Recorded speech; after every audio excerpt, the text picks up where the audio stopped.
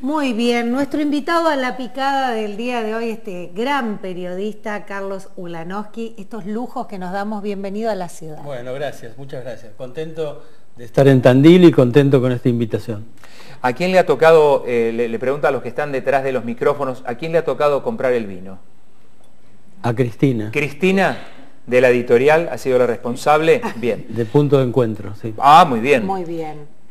Eh, siempre le pedimos al invitado, cuando vamos a brindar, que nos cuente cuáles son los motivos por los cuales le gustaría brindar. Ah, eh, me gustaría brindar para que volvamos a ser felices en la Argentina Bien. y que Racing vuelva a ser campeón. Forma parte de la felicidad. Sí, por supuesto. Correcto. Eh, Racing tiene la extraordinaria condición de arruinarme o mejorarme los fines de semana. Está muy bien. Eh, Las pequeñas grandes cosas de la vida, ¿no? Claro. brindemos por eso entonces. Muy ¿eh? bien. Ahí está. Ahí está. Ahí Gracias. estamos, para, con este rico vino que ha elegido. Hay que probarlo porque si no, dice la tradición que no se cumple el Claro, deseo. Exactamente. Bueno, Carlos, eh, siempre el invitado, es muy rico vino, la verdad que hay que, hay que destacar a, a la sommelier que lo eligió. Eh, siempre arrancamos por, por un poco lo de historia. Todos los viernes tenemos este espacio aquí con personajes de Tandil o gente que viene a visitarnos, como es su caso. Carlos Ulanowski, eh, ¿en, qué, mm, ¿en qué ciudad nació o en qué barrio? Nací en Buenos Aires, eh, en el barrio de Chacarita, pero casi me crié en el barrio de Floresta. Ahí este, viví muchos años hasta que me casé por primera vez. Eh, ¿Y ahí para dónde se fue? A Palermo. Ajá. Sí, sí, sí. Y, y en, esta, en esta infancia, que yo siempre creo que la infancia nos marca mucho Sí. para el resto de la vida, eh, ¿qué hacían tus padres? Mi viejo era un pequeño industrial, tenía una fábrica de muebles chica eh, y se desarrolló en eso hasta que llegó el famoso Rodrigazo del año 75 y ahí se fundió. Y bueno, y ahí hubo que eh, contenerlo mucho, ayudarlo. Este, ya mi hermano y yo éramos grandes y lo, bueno, tuvimos que contenerlo a él porque era lo que había que hacer. Claro. Este, ¿Y, y tu y mamá qué hacía? Mi mamá era ama de casa. Ama de casa. Sí. ¿Cuántos sí, sí. hermanos, Carlos? Uno, Uno solo. mayor que yo seis años. Ajá. Sí. Bien. Eh, ¿El ser el menor tuvo algún trauma, no? No, no, no, no, para nada. Al contrario, No, no. claro. La- yo fui una, la verdad digo, fui siempre una persona muy privilegiada y una persona muy amada por las mujeres en especial. Ah, muy bien. Sí, sí, sí. ¿Y eso por qué? ¿Qué, a ver. qué don sentías no, vos que no, tenías? ninguno, no, no, no, no dones galanescos para nada. Bueno, pero algo atraía. Quiero decir que me ayudaron mucho las mujeres en todo. Ah. Y, y yo hoy reconozco que la única revolución que ha eh, acaecido en la Argentina es la de las mujeres. Carlos, Admiro eh, mucho a las mujeres. eh, ahora, ahora hablamos un poquito de eso también. Eh, hablamos de, de tu paso por la secundaria y el nacimiento de tu vocación con Orbe, supongo. Sí, exactamente. Bueno, yo fui al, al Nacional Mariano Moreno, ahí desde primer año, en realidad desde sexto grado, fui compañero de Rodolfo Terraño. Y a Rodolfo se le ocurrió, cuando estábamos en tercer año, hacer una revista. Eh, a él no le gusta que la llamemos revista estudiantil, él dice que era una revista de interés general, ¿no? Y creo que sí, que era cierto, que era una revista de interés general. Eh, y ahí empecé a darme cuenta de cosas que después, ya como este, periodista este, establecido, eh, lo, lo pude comprobar. Primero, que en cada periodista hay un cholulo, ¿no? En potencia. Y entonces, por ejemplo, yo ya en, en ese momento tenía un montón de gente a la que admiraba y a la que le fui a hacer notas, con la excusa de la, la- revista. Ay, qué bueno, Claro. claro. De repente fui a conocer a, a Dalmiro Sáenz, lo conocía a Leopoldo Torrenilson, lo conocía a Dante Panzeri, eh, admiraba en ese momento a Bernardo Neustadt y fui al diario El Mundo, el primer diario al que entré, ¿no? El diario El Mundo que quedaba en Río de Janeiro y Bogotá, en la capital. Y ahí estamos hablando de 14 años. 15. 15 años. Sí, sí, sí, sí. Muy chico. Sí, un, un niño, un niño. Sin, ¿Y, la- y la ya, querías, sabías qué querías eh, hacer de tu vida o pasaste por esto de bom- ser bombero, No, no, ser no. abogado, todas No, esas no, cosas? no. Mi viejo eh, quería que yo fuera eh, médico. Médico, por eso, estos mandatos. Hice tres veces el ingreso a medicina y las tres veces fracasé. Las materias eran matemática, física, química y biología. Imposible, imposible. Entonces, este, eh, un día este, me armé de, coraje y le dije, papá, no vas a tener un hijo médico. Y me anoté en sociología y ahí en sociología este, eh, fue algo muy este, fundacional de mi vida porque no solamente empecé a conocer gente distinta de la que conocía, sino que leí un libro que me dio vuelta la cabeza y nunca más dejé de leer además, nunca más paré de leer. ¿Cuál fue ese primer libro? Eh, el arte de amar de Erich Fromm y El miedo a la libertad de Erich Fromm, ¿no? Los dos. ¿Qué tema? El miedo a la libertad. Estaban de texto obligatorio en el ingreso a sociología y bueno, lo leí y ya cuando salimos de la secundaria con Terraño, fuimos a buscar trabajo en, distintos lugares y era una época mucho más fácil que la de ahora, mucho más fácil. Siempre le digo a los, a los jóvenes, si voy a hacer una charla, este, digo, uno iba a un lugar, golpeaba, te atendían y a lo mejor hasta salías con un encargo de una nota. Pero entrabas como informante en aquel momento. El, bueno, el primer eh, el, primer lugar eh, profesional que yo tuve en la revista Confirmado, que fue mi primer trabajo en relación de dependencia, fue de informante. Claro, explica un poco qué era informante, porque suena raro, ¿viste? Eh, Pero antes los periodistas lo necesitaban al informante. Te daban un tema, por ejemplo, anda a averiguar el, el baile en Buenos Aires.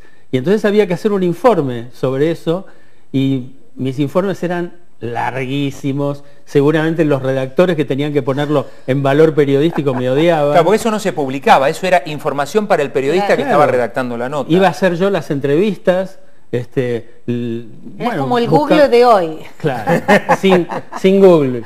Claro, había que ir, caminar, y en esas caminatas, qué lugar loco, qué lugar... Eh, eh, dijiste yo, no, no, no sé cómo entré a ese lugar a pedir información, a buscar. Eh, no, loco no sé, pero por ejemplo me acuerdo este, haber hecho en esos años una nota sobre un lugar que ya no existe más en Buenos Aires, que era el pasaje Ciber, que era un pasaje muy simpático, que ahora está la 9 de julio y Posadas por ahí. Bueno, ahí estaba el pasaje Ciber, que era un lugar muy francés, muy parisino y bueno, este, lo, demolieron ese lugar, ¿no? Este, pero bueno, digo, yo no tengo un título, no le pude dar ese gusto a mis viejos. Eh, eh, soy uno de esos periodistas formado en las redacciones, en la calle también. Y siento, este es mi libro número 27, y siento que cada uno de los libros fue una materia que di. Y todavía hoy, cada nota que hago para mí es, un, aprendizaje. ¿Cuál fue la materia más difícil? El libro más difícil, y me parece que el libro más difícil por muchas razones fue el Seamos felices mientras estamos aquí, ¿no? que es el libro de crónicas de exilio. Contá, ahora hablamos del exilio, de Satiricón, de las épocas complicadas, pero, pero contá cómo surge o de dónde surge el título de ese libro. El título surge, yo trabajaba, me fui a vivir a México, trabajaba en la avenida Insurgentes al 1700 y una noche bajé del trabajo, me fui del trabajo y abajo había un artesano vendiendo sus artesanías y de repente vi un, una artesanía, era un mirasol con una carita muy naif que decía, seamos felices mientras estamos aquí. Y yo sentí que era un mensaje para todos, para mí en especial. un mensaje, decir, bueno, no se puede vivir con la cabeza en dos lugares. Este, eh, estás acá, aprovecha, lo que te está dando este lugar, ¿no? Y bueno, y, eso es un, todavía la tengo, entras a mi departamento y está ahí. Este, sobrevivió al container de vuelta, sobrevivió a cinco mudanzas, este, espero que no se rompa nunca. La voz que estamos escuchando es la de Carlos Ulanowski. Carlos, eh, te tocaron tiempos difíciles también. ¿Qué fue lo que te indicó que te tenías que ir del país? Te fuiste dos veces, fuiste, viniste a México. En ambas eh, ocasiones el miedo, tenía un miedo terrible de vivir acá. Eh, en principio me fui en el 74 cuando eh, el gobierno de Isabel Martínez clausuró Satiricón. Estamos hablando de democracia todavía, con todo una democracia bastante complicada. Sí, el tema es este, que cuando eh, llega Perón al poder nos avisan que al general no le, le, gustaba mucho hacer bromas, pero no le gustaba que hicieran bromas con él. Y entonces dijimos, bueno, tenemos que buscar algunos atajos, ¿no? Para seguir haciendo humor. Y entonces hicimos humor negro, hicimos eh, este, humor, creo que otro se llamaba humor boludo. Eh, bueno, varias ediciones distintas, hasta que, bueno, eh, publicamos una nota en el número 24 de Satiricón sobre una sátira sobre una película de Susana, La Mari, la película que actuaba eh, Susana Jiménez y Monzón. Bueno, eh, que ahora salió otra vez al tapete con todo lo de la serie. Bueno, y el personaje de esa serie era, eh, de, de esa sátira, era López Rega. Y bueno, y al rato nos clausuraron la revista, por inmoral. Por inmoral. Claro. Ah, habíamos hecho humor sexual también. También debe haber tenido que ver con eso. Ustedes ¿no? locos en esa ¿Eh? época también hacer eso. es que eh, año 74, yo me creía inmortal. Ahí me di cuenta que no. ¿En qué cosas te dio miedo? Digo, estamos hablando, como decía Claudio, democracia, ¿no? No, me dio... ¿Qué sentiste? es que ya actuaba la AAA, las revistas... Algunas revistas de ultraderecha nos empezaron a atacar, a Mario Mactas y a mí, que éramos los subdirectores de Satiricón. Eh, salió una revista que se llamaba El Caudillo que decía, el mejor enemigo es el enemigo muerto, y el editorial, en, ese editorial los únicos nombres que mencionaban eran los nuestros.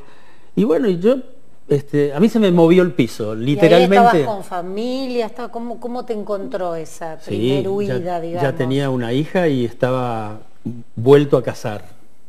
Sí, me acababa de, acababa de formar otra vez pareja. ¿Te fuiste con todos? Eh, primero con mi pareja, este, pensando también que en dos meses todo pasaba y nunca tuve gran perspicacia política, ¿no? Pero este, en ese momento pensé que en dos meses, tres, esto pasa.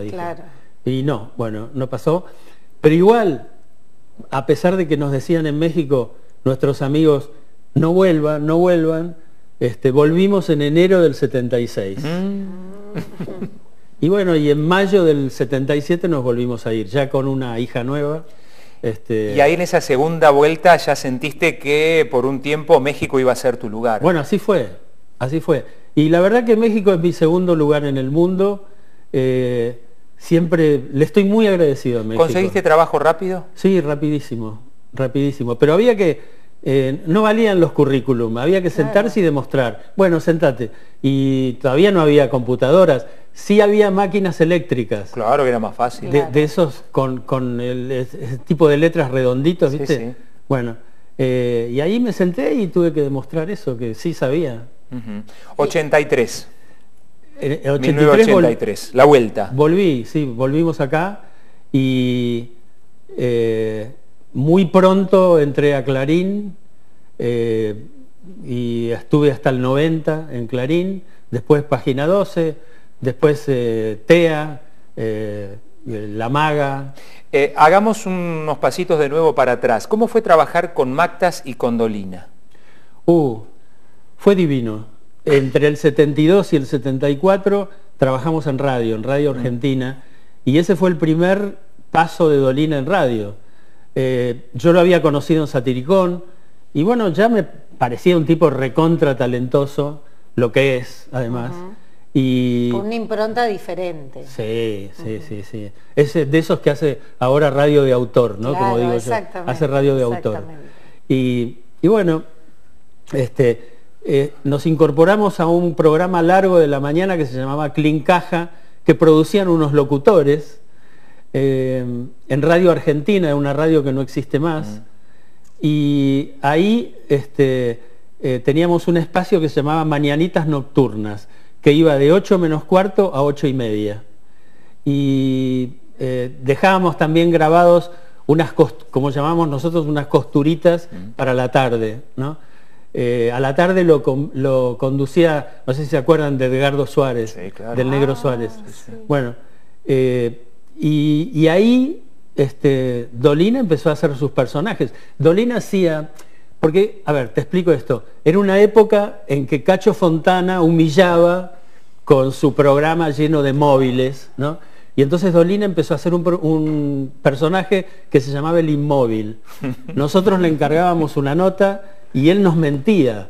Nos decía que iba a hacer la nota, pero que en, realidad hablaba desde el teléfono público de la esquina. Inventaba todo. Que es una parte del periodismo también. Bueno, entonces este, el personaje se llamaba Gómez, el inmóvil Gómez. Este, digo que tenía que ver con eso, con el chiste de de competirle, competirle a Cacho Fontana. competir desde claro que tenía, Alberto Armando le daba los, los eh, Fairlane, Fairlane con, con unos aparatos sofisticadísimos que para, aquella época era comunicarse, que fue de alguna manera, si se quiere, la transición de la radio espectáculo a periodística, eh, creo que fue uno de los que, que, lanzó eso, ¿no? Claro, y además este, en un momento de crisis de la radio, Cacho Fontana, el Flaco Carrizo y Héctor Larrea salvaron a la radio, más Radio Rivadavia, ¿no? Más el Gordo Muñoz con las transmisiones de fútbol. Bueno, eso salvó a la radio. Lo nombrás a gente que uno se emociona. Y, por lo menos yo tengo el recuerdo de chica, mi papá con la radio a todo lo que daba escuchar a la rea rapidísimo. Bueno.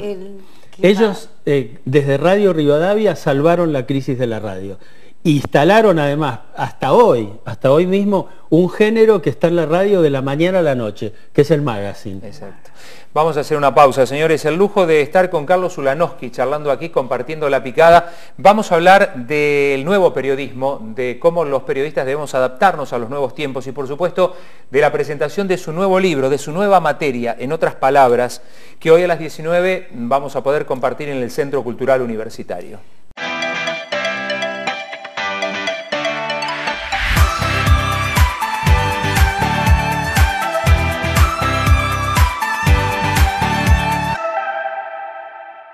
Seguimos compartiendo la picada con el gran Carlos Ulanowski. Perdón por lo de gran, fue un poco subjetivo, pero el periodismo es así. Yo soy, yo cuando me dicen eso digo que soy XL. no grande, XL. Es buena esa, te la voy a tomar. es muy buena. Eh, Carlos, eh, te hemos visto, escuchado, leído, entrevistar a grandes personajes, no sé, por ejemplo, al mismo Borges. Eh, ¿Qué te acordás de esa entrevista o de esas? No, sé si fue una, yo vi una, pero Esa entrevista fue fabulosa y vuelvo a lo del Cholulo. A ver. Yo en el 85 trabajaba en Clarín, eh, compartía con Jorge Alperín las notas de los domingos, esas entrevistas largas, y un día me di cuenta que no lo conocía a Borges. dije, che, tengo ganas de conocerlo. Y además hice bien porque se murió el año siguiente, ¿no? Ah. Este, y, y entonces fui, gestioné la nota y me la dio, me citó en su casa ¿Era así tan cascarrabia como muchos dicen? No, no, por lo menos conmigo en esa circunstancia que duró tres días la entrevista, ahora te digo porque sí, empecé la entrevista, eh, yo por entonces grababa y fui con mi grabador, qué sé yo, empecé la entrevista, tocan el timbre, viene el asistente y le dice algo al oído, dice, uy, vamos a tener que interrumpir, me ah. olvidé que venían del Colón porque están haciendo una adaptación del Aleph Así que vienen ellos... Este, ¿Y vos qué sentías ahí? No, me quise morir, la verdad. Y dice, bueno, nos vemos mañana. Cuando me iba ya sentía, este, él, vivía en Maipú al 900, este, mientras iba bajando ya sentía los cantos de la troupe del Colón que lo había venido a visitar. Y volví al día siguiente y también lo mismo, se había olvidado de algo, pero al final el miércoles terminamos la nota y ya ahí, este, él estaba vestido con traje, corbata y chancletas, sin medias. Me hace acordar. Y entonces dice, agárreme. Este, y entonces lo agarré y me dio, me hizo, me hizo un paseo guiado por su departamento, describiéndome exactamente cada una de las cosas que había ahí. Qué lujo. Sí.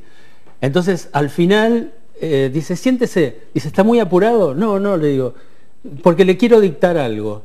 Y entonces dice, ayer estuve a la noche con María Kodama eh, en, un en una taberna griega, en un restaurante.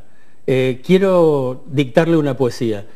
Y efectivamente me dictó una poesía, yo la escribí a mano y como un mes y medio después agarro el suplemento cultural de Clarín, que en ese momento salía los jueves, suplemento Cultura y Nación se llamaba, eh, y, salió en la tapa un poema se llamaba Taberna Griega. Me sentí absolutamente incluido en la historia de Borges. ¿no? En ese momento no tenía celular para sacarle una foto y guardarte tu manuscrito. No, no, no. Los celulares llegaron muy tarde y el, todo, todo lo digital llega muy tarde en mi vida. Este. Eh, llega, llega tarde, pero llega y, estás metido en un periodismo diferente al que vos contabas, que fue el que te iniciaste. Hablemos un poquito de eso. Tanto, perdón, tanto desde, desde lo conceptual, desde lo periodístico, desde lo editorial, hasta lo tecnológico. Bueno, yo creo que en este momento, eh, no solamente acá, sino en todo el mundo, el periodismo está atravesando un momento de, transición muy duro, muy serio, con final incierto.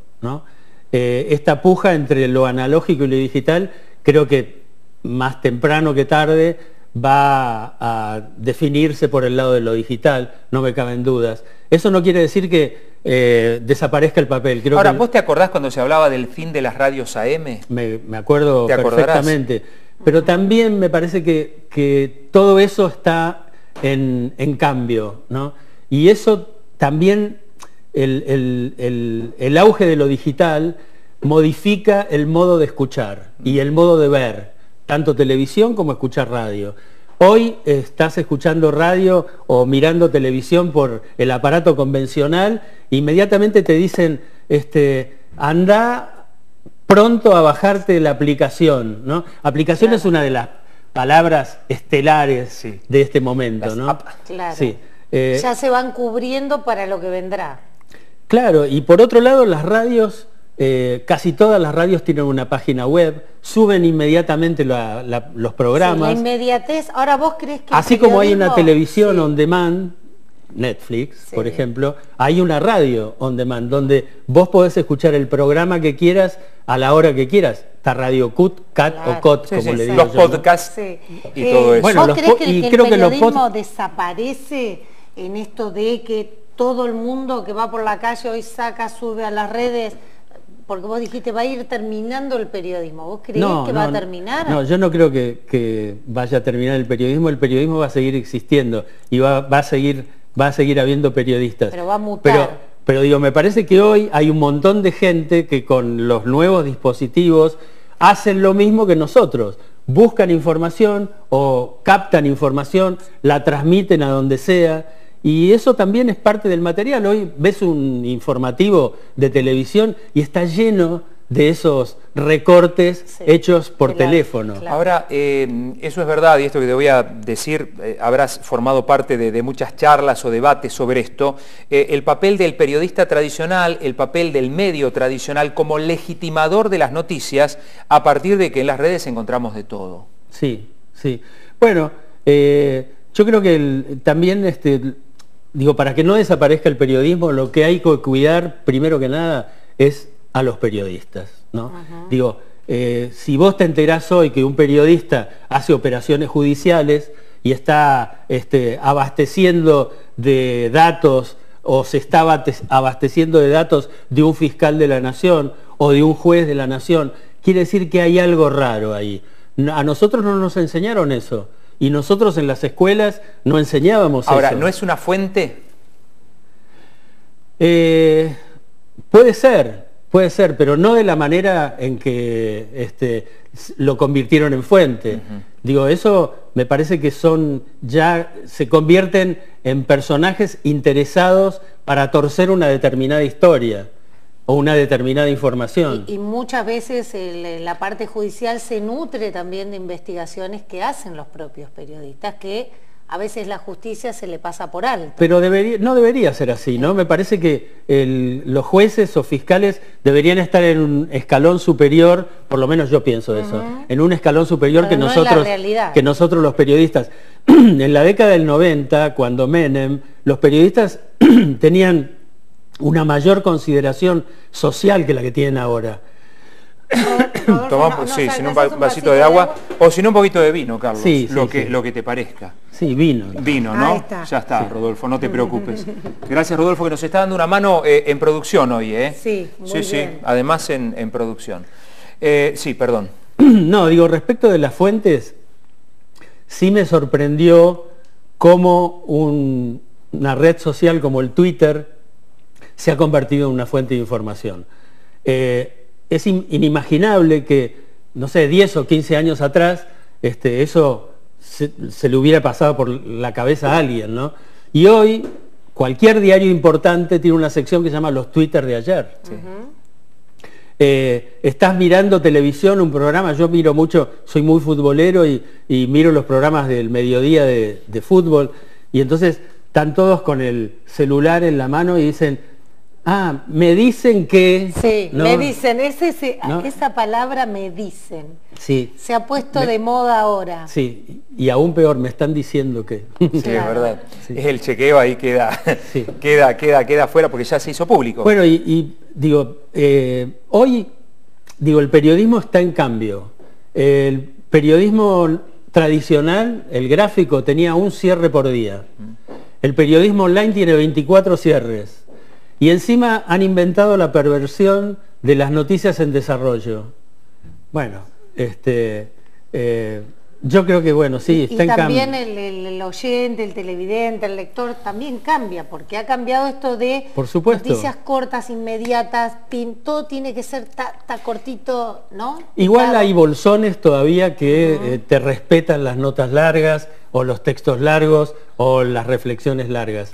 Eh, yo hago un programa de radio de dos horas de duración en donde invito a cuatro personas y armo una tertulia y charlamos. Ay, qué linda esa palabra, me encanta. Carlos, em, es una pregunta que te voy a hacer eh, que no tiene una respuesta, pero me gustaría conocer tu respuesta. ¿Hacia dónde va el periodismo? Eh, yo creo que el radio, por ejemplo, creo que van a tener muchísima importancia en algunos años los podcasts. ¿no?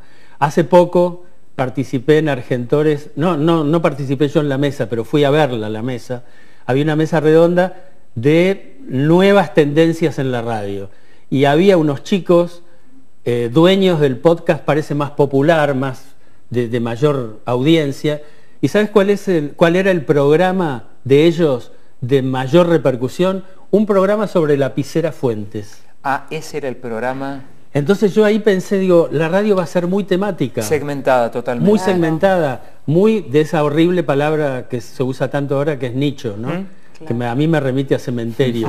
Sí, a muerte. Sí, este, va a ser muy así, ¿no? Este, entonces, si, eh, no sé, si sos eh, de Tandil y sos amante de la picada eh, sin queso, por ejemplo, vas, a poder tener, vas a poder tener un, podcast y vas a tener tu audiencia. Pero también se te va segmentando, digo, la, información. Solo vas a escuchar lo que querés. Bueno, no está mal, no está mal. Este... Está Carlos Ulanowski con nosotros, seguimos charlando en el próximo bloque, te tenemos un bloque más y te liberamos. No sé si ya te dieron de, almorzar, no, todavía no. Ahora eh, aprovechemos aprovechar la picada, sí. Eh, vamos a charlar con él en el próximo bloque, nos va a contar sobre su libro, eh, su libro que va a presentar hoy a las 19 en el Centro Cultural Universitario, entrada libre y gratuita, entrada libre y gratuita hoy a las 19 en el Centro Cultural Universitario. Tenemos que agradecerle, Ceci, han venido unos alumnos del Centro de Formación Laboral 403 de Comunicación, eh, es un gran curso, lástima a los docentes, el resto está fantástico. Así, sí, sí, sí. Eh, así que agradecemos también la presencia de ellos. Es lo que hay. Es lo que hay. Es lo que hay.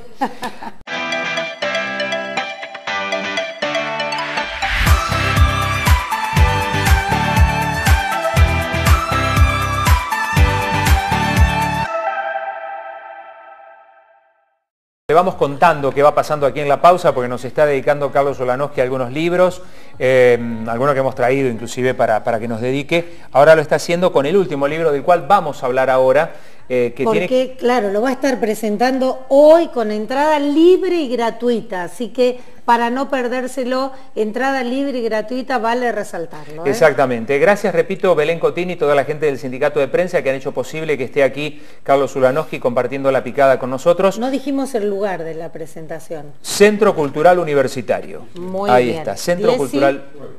19, horas 19 horas en el Salón de los Espejos. Fácil, entran por la calle directamente desde, desde la calle Irigoyen. Ahí estamos. Hoy, es... 30. Santa Rosa, ah, exactamente. Santa Rosa, ahí Hoy es 30.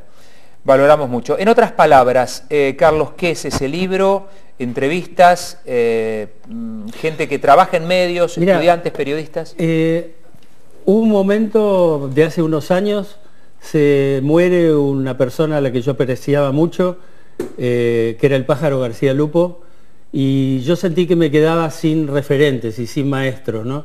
Y entonces empecé a garabatear algunas cosas, pensando en el momento del periodismo, que veía un momento de baja creatividad, ¿no? Del periodismo. ¿Qué, me dijiste año? Hará este, cuatro años o cinco cuatro o cinco años. Seguimos más o menos en la misma. Eh, sí, con cosas muy raras que, estaban pasando en el periodismo. Digo, es de esa época más o menos la famosa frase de Julio Blanc de Clarín cuando dice, hicimos periodismo de guerra, ¿no? Digo, eh, bueno, empiezo a garabatear algunas cosas, llego al sexto, séptimo texto y digo, no es esto lo que quiero hacer, no es esto. Y ahí me di cuenta que sí había, en un marco de baja creatividad o de muy baja creatividad, había bolsones creativos interesantes y, jóvenes que mm, me parecía que había que, bueno, que había que charlar con ellos, a ver qué pensaban. Y eso es lo que hice. Eh, primero que nada lo llamó a Iván Jagroski, a quien no conocía, me atendió muy bien y eso me estimuló. Eh, armé un cuestionario, le hice la entrevista, le pregunté a Jagroski, bueno, dame nombres de, algunos colegas tuyos que te parezcan interesantes. Claro, porque acá en el libro están con fotos, ¿eh? los 35 jóvenes a quienes vos entrevistaste. Exactamente. Fui sin grabador, anotando, como a, a la vieja usanza, este, y le hice entrevistas a 35, a cada uno le pregunté también eso, dame nombres de colegas que te parezcan que hacen cosas interesantes o que eh, merezcan ser mencionados, y ellos mencionaron a más de 300 personas. Y entonces eso también me dio el impulso, me generó el optimismo de decir, bueno, acá hay algo interesante. ¿no? Me parece que eh, hay un montón de, chicos y chicas que bien formados, este, con títulos, con maestrías, con buenos lugares. El, título, el libro tiene una bajada que, por cierto, en otras palabras, es el título que me sugirió la editora del libro, eh, Cristina Angelini, de Punto de Encuentro. Que es buena editora y buena, buena eh, para elegir vinos también. Y es buena conductora porque viene con su auto muy, además ah, maneja bien. Muy bien. Además, muy bien. Me, quedo con esto, mira, uno de los chicos dice, Juan Ignacio Provéndola, dice, ya no somos los monarcas de la información. Nos rodean influencers, blogueros, y como si esto fuera poco, tenemos que luchar contra los trolls. Y sí, así es, así es. Bueno, eh, digo, me parece, alguien me dijo, este libro es un legado.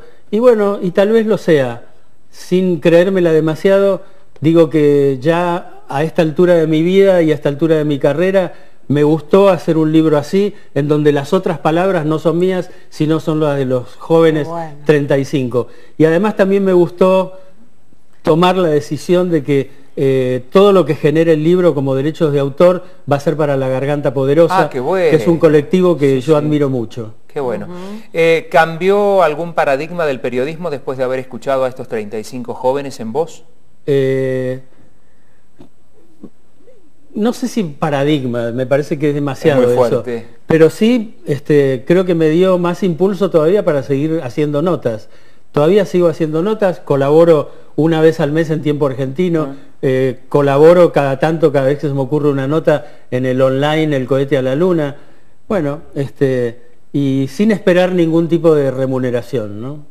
Eh, la, típica, eh, gente que está estudiando periodismo, chicos que por ahí tienen la vocación o que todavía no se deciden, ¿qué les decís? Yo primero que nada le digo lo mismo que les decía cuando daba clase, lean, lean. Leer no solamente te abre la cabeza, sino que es la manera más atractiva de pasarla solo. ¿no? Cuando estás leyendo, eh, la lectura te transporta a otros lugares ¿no? y, te, y, te, enseña, y te amplía el volumen, te da más palabras.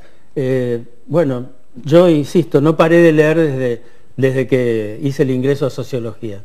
Eh, iba mirando el libro y digo, esto es de, de alguien que no se la cree, porque ir a hacer un libro con 35 jóvenes periodistas para ver cuál es su mirada, habla de, bueno... De una apertura, por de una gran apertura. Te digo una cosa, yo tengo ahí donde... Que no te la crees que soy el más. Donde escribo, donde escribo, frente a la, eh, ahí frente a la computadora tengo un corcho donde eh, pincho frasecitas. Y una frasecita que tengo pinchada es, el que se la cree se jode. Está buena mm. Eh, para el profe Unalowski, para ir terminando, ¿cómo se hace una buena entrevista? ¿Cuáles son los pasos para hacer una buena entrevista? Primero que nada, escuchar. ¿no? Este, tiene que tener un, el, que hace entrevistas tiene que tener una gran capacidad de escucha y tiene que preparar primero la entrevista. ¿Cómo se prepara? Trabajando. Digo, yo nunca voy a improvisar cuando hago una entrevista. Primero preparo y cuando hago el programa, ¿querés que te diga una cosa? A veces este, alguno me mira mal, pero no me importa. Yo escribo el programa de punta a punta. Lo escribo. Este, como antes en la radio. Los libreteados. Bueno, yo lo escribo y, busco información y este, digo, ah, mira, esto me va a servir y esto puede ser humorístico y, ah, le meto este sonido. Bueno, es mi pasatiempo semanal. Es el único trabajo serio que tengo ahora. Y, aparte de, escribir y de tu profesión, eh, ¿qué otras cosas te apasionan? Bueno... Eh, aparte de Racing, que ya dijiste. No, Racing tiene esa extraordinaria condición de arruinarme o mejorarme los fines de semana. Pero digo, estoy... Bueno, Entre nosotros más arruinados que... No es que... no creas, ¿eh? acabamos de salir campeones. ¿eh? Sí, eso es verdad. Ah, bueno. Eso es verdad. Digo, no te olvides. Sufrido, Racing tiene la capacidad de, que los hinchas valoren más los triunfos. Sí, claro. Se valoran más. Sufrido sin duda. Sufrido. Sin duda. ¿Y, qué otras cosas te Bueno, estoy muy bien con mis hijas, admiro mucho a mis hijas eh, en todo y las apoyo y todo lo que hacen. Este, eh, y tengo dos nietos que son divinos y también trato de ayudarlos en su crecimiento. Qué bueno. Qué bueno. Carlos, ¿con qué, ya con esto cerramos, con qué se va a encontrar la gente hoy a las 19 en el Centro Cultural Universitario cuando vaya a ver la presentación de tu última materia, por lo menos hasta ahora, en otras palabras? Bueno, qué lindo eso. Bueno, se va a encontrar conmigo, con, este Gil, y eh, se va a encontrar con un eh, compañero de, este, de Tandil, que ahora no me acuerdo cómo se llama. González. Con Marcos González. Nuestro compañero de trabajo, Marcos González. Bueno, eh, estuve dialogando con él en la radio hace poco y este, el que lo acompañaba dijo que era un prócer. Rodrigo. Y es para, Rodrigo dijo eso. Eh, es para nosotros, para los tandilenses, así como lo hubo otros en otro momento, eh, Marcos lo es hoy, hoy por hoy marcando esto. Bueno, y digo, me me da siempre mucha ilusión venir a Tandil, es una ciudad que me gusta y es la ciudad eh, del gordo Soriano, ¿no? Este, y el gordo que pasó por este mismo diario. Fue un entrañable amigo. Qué bueno.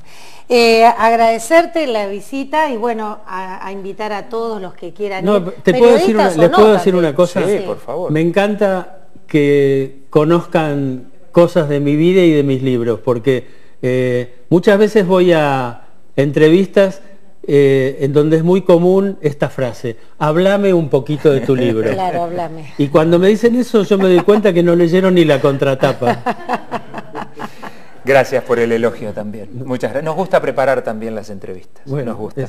Gracias, Carlos. No, gracias a ustedes. Eh, un lujo eh, que nos hemos dado. Carlos Ulanowski, hoy a las 19 en el Centro Cultural Universitario presenta su último libro, entrada libre y gratuita, eh, organizado por el Sindicato de Prensa y la presencia ah, gracias a Belén Cotine también. Que Belén, sí, sí, una ídola, gran trabajadora Belén. Ahí está, eh, eh, a ver, Carlos Ulanowski y Marcos González, nuestro Marcos González.